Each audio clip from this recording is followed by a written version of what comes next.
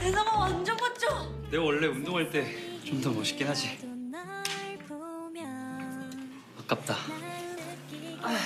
수영을 그만둬야 할지도 모르겠어요.